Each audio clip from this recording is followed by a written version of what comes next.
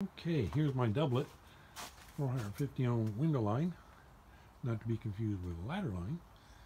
Uh, comes up here, of a lazy loop, tied up there.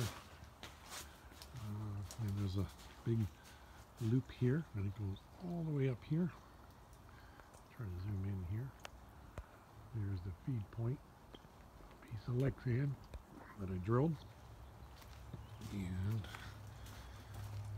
back here real slow. Put in perspective, it should be about 140 feet long. Uh, 2 by 70 foot radiators. And they are on two of my four anchor points that I had used for my loop, which didn't work out real well here on the property. So that point is probably 85 feet. It's got to be at least. That's what I measured over on the other corner with a piece of string that I had up there and I measured the actual length of it. And that line dropping down there is my retrieval line. And that goes up in those trees.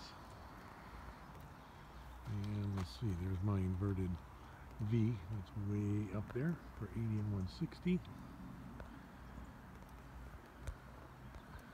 And I'll turn around here. So that is that one side. The other side goes over this way to a set of trees in the front of the driveway. And I'll take you over there. See my messy yard. Okay. And we're going to go over to here and see if we can see this baby.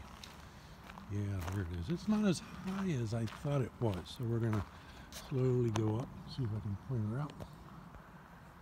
Okay, there it is. There's the egg insulator and the retrieval line.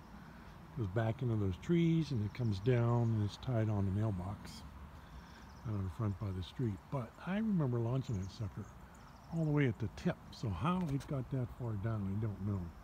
It's possibly tangled in there uh, when I was taking a loop down. Maybe I don't have it pulled out from those branches.